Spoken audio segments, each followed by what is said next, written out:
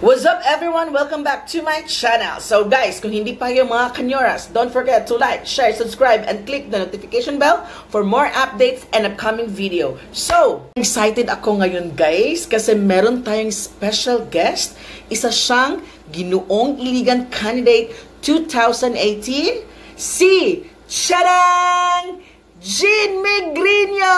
Woohoo! Bigay siya po ng tips po on how to do a power workout at home. First, we are advocating 80% nutrition, 20% exercise. So, kung if you really want to have your wellness program, don't forget the description below. Ibibigay ko yung link ng page namin so that meron po kaming mga free webinar po. You will know about nutrition. You will know the importance of exercise, the importance of nutrition, the macronutrients, the, the everything about nutrition. Oh, di ba?